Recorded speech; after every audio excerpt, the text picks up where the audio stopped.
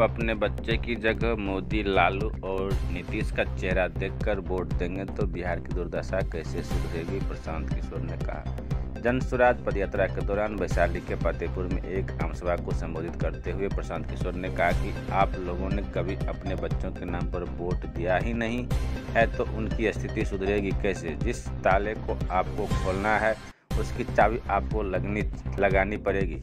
यदि ये बात आपको समझ आ जाएगी तो आपका जीवन सुधर जाएगा। यदि आपको अपने बच्चों के लिए पढ़ाई, रोज़गार और खेती के लिए अच्छी ज़मीन चाहिए तो आपको इन तीनों चीज़ों पर वोट करना होगा। लेकिन आपको चाहिए अपने बच्चों के लिए रोज़गार और आप वोट दे रहे हैं। जाति के नाम पर आपको चाहिए फैक्ट्री, लेकिन आप वोट दे रहे हैं मंदिर के नाम पर।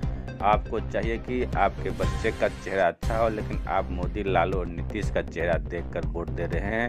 तो इससे बिहार की दुर्दशा कैसे सुधर सकती है? अपने बच्चों के नाम पर अपने अपने बच्चों के नाम पर ईमानदारी से अपने बच्चों का चेहरा याद करके आप बताइए आपने जीवन में अपने बच्चों के पढ़ाई के लिए कभी वोट किया है? जो किया है तो हाथ उठाइए। छाप पर केवल किए हैं अरे किसी को किसी ने किसी ने अपने बच्चे के पढ़ाई के लिए वोट किया है? नहीं तो जब जो ताला खोलना है उसका चाबी लगाइएगा नहीं तो ताला खुलेगा कैसे?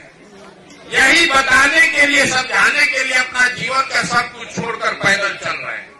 इतना बात अगर आप समझ जाइएगा तो आपका जीवन सुधर सकता है। जो चीज़ आपको चाहिए आपको चाहिए अपने बच्चों की पढ़ाई, आपको चाहिए अपने बच्चों के लिए रोज़गार, आपके, आपको चाहिए आपके लिए बढ़िया खेती, ज़मीन। तो अगर ये तीन चीज़ पर वोट दीजिए। लेकिन आपको चाहिए पढ़ाई, और आप वोट दे रहे हैं जात पर। आप आपको चाहिए फैक्ट्री, और आप वोट दे रहे हैं मंदिर पर। आपको चाहिए आपके बच्चे का चेहरा बढ़िया हो, और आप मोदी जी का चेहरा, लालू जी नीतीश जी प्रसाद किशोर का चेहरा देख के वोट दीजिएगा तो सुधरेगा कैसे? नहीं सुधर सकता है।